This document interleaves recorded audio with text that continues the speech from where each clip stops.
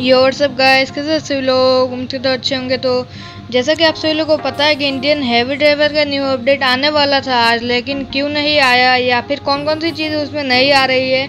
ये सब कुछ जानने के लिए वीडियो को लास्ट तक ज़रूर देखना और चैनल को भी तक सब्सक्राइब नहीं तो सब्सक्राइब कर देना। तो चलो अपनी वीडियो को स्टार्ट कर लेते हैं। तो जैसा कि आप सभी लोगों को पता है कि इंडियन हैवी ड्राइवर में आज न्यू अपडेट आने वाला था, लेकिन अभी तक क्यों नहीं आया? तो चौहान ब्रदर्स ने जैसे कि बोला है कि कल तक अपडेट श्योर आ जाएगा प्ले स्टोर में प्रोसेसिंग हो रहा है तो उसमें टाइम लगता है। तो आप लोग अभी कुछ उसके फ़ोटोज़ वगैरह देख लो, जिस अपडेट में जो कुछ आने वाला है। तो सबसे पहले हमारा डीजे ओमनी जो कि वो जो मारुति वैन है ना, उसका डीजे वेरिएंट है मॉडिफाइड वाला।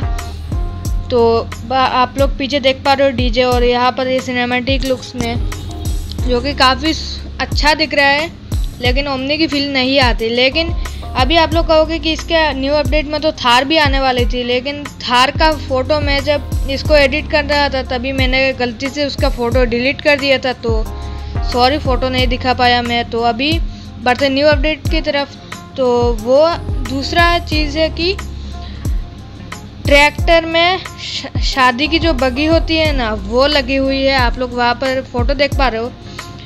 ट्रैक्टर के पीछे शादी वाले बग्गी लगी हुई है।